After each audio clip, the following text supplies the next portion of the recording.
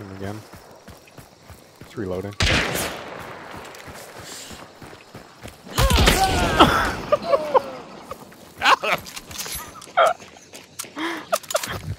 Waiting for the punch.